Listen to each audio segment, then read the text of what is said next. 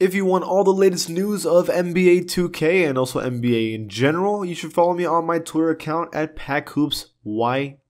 Not only that, I do giveaways all the time when it comes to VC, games, and also even consoles. So check it out, follow me, and see you there. Pasa to the pack. It's Pac here. Today's video is very, very simple. I'm going into Twitter as I always do whenever there's a roster update drop, and I'm covering all the major topics of what you guys think is right and wrong about the newest roster update.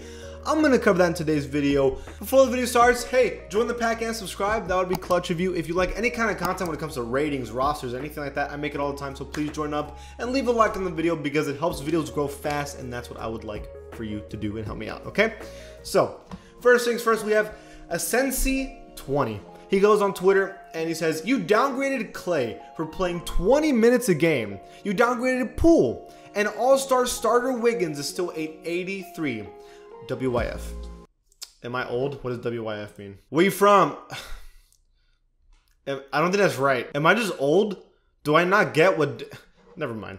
So I'll, I'll address the big one. Klay Thompson. I have said, I have said, I have said, if a player comes back from injury, you can't give him a rating change after one or two weeks of coming back. It takes time. Like when a player is injured and he comes back for the first time, it's going to take a little bit to get used to playing basketball again, especially when Klay Thompson, who took two years off, well, didn't take two years off. You know what I mean? So Klay Thompson, right, is obviously going to struggle the first week or two, which he was. So 2K downgraded him by one, and I said, y'all cannot do that to a man. Give him like two months and then start giving him rating changes. And after, wow, it's only been a month, and in 24 minutes per game, he's averaging 16 points efficiently. How can you get mad at Klay Thompson for that? That's perfect. And he plays good defense as you already know he does. So how can you get mad at Klay Thompson? If anything, he should have been left alone rating wise for sure. Do not touch his rating. That's disrespectful 100%. Now for Poole, I think Poole should have just been left alone as well. I mean, he's still the same good player he's been all season. It's just that now that you've added Klay Thompson, his role is going to be diminished, but he's still good. So he shouldn't have changed rating wise. And Wiggins, okay, I'm going to keep it real. He should probably stay at an 83. It, listen, I'm not saying that that's like accurate. Maybe an 84. He is a good defender, but he's the lowest rating starter in All Star history because it was kind of a weird situation. It's not really like 2K's fault there. Okay.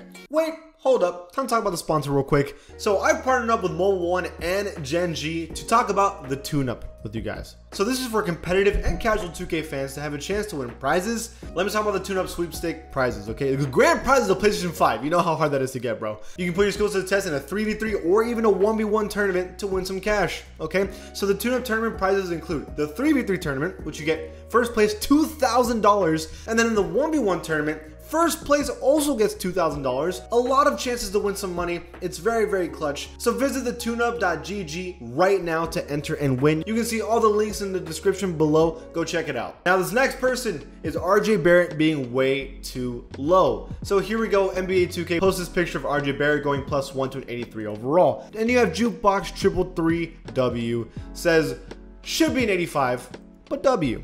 Now, let me explain to you why I think he's right and maybe even a little higher. So, Ever since the start of the new year or the last 10 games, RJ Barrett has been the leading scorer for the New York Knicks with 21.5 points per game on pretty solid efficiency for the most part. The three point percentage is a little low, but overall pretty solid. This is why that's happening. The New York Knicks have decided to give RJ Barrett the leading score role. You know in basketball how this works. Somebody is given the chance to be the guy, right? When he turns and looks and, and asks for the ball, he gets it.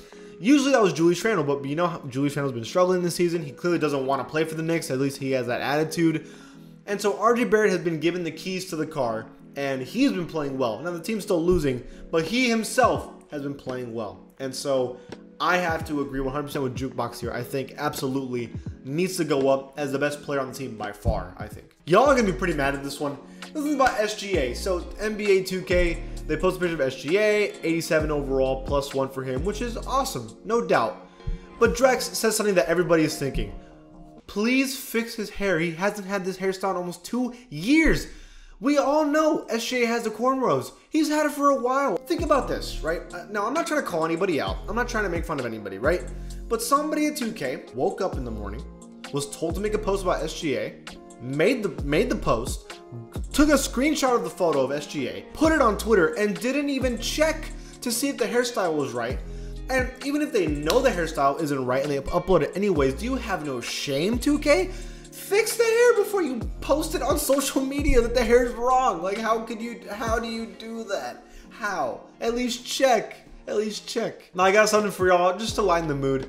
So, Cade stock is rising for Cade Cunningham. Detroit Pistons post this. Goes to 80 overall club. W for Cade. Dustin Shanavale gets a photo and says, Me after I successfully make one peanut butter and jelly sandwich all by myself. And it's just.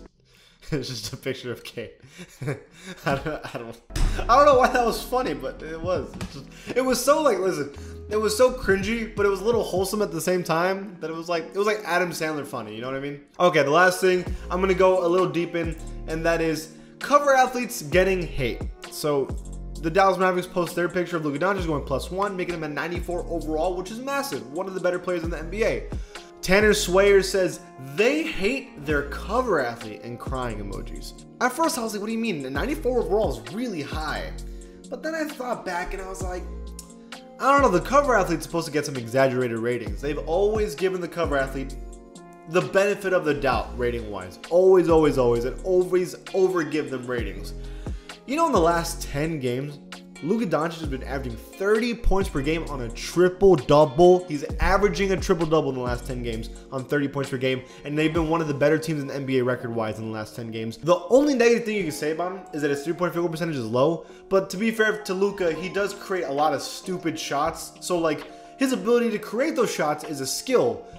Whether or not he makes them on an efficient level is a different conversation, but at least he's able to create the shots, and he makes at least 33% of them, right? So it's not great, but he's still a star. I think with those numbers in the last 10 games, 30 point per game triple double, that's at least, at least, and y'all aren't ready for me to say this, one of the best players in the NBA with a 96 overall rating. But then again, LeBron James is a 96, Kevin Durant's a 96, Jokic is a 96, and Embiid is a 96 and then Giannis is 97. So, do I have the gall to say that Luka Doncic is in the conversation with them?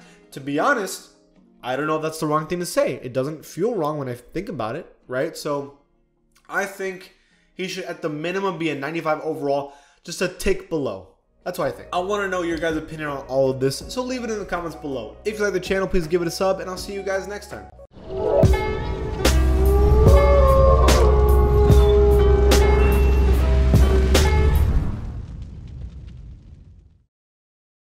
If you want all the latest news of NBA 2K and also NBA in general, you should follow me on my Twitter account at PacHoopsYT.